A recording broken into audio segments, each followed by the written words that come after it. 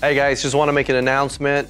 Joseph Naffah is actually at a world qualifier, so our Let Me Fix You episode will not be airing this week. But let's uh, let's keep an eye out on him. We'll add the link down below where you can see how he's doing, and uh, we'll also keep you updated on the next video.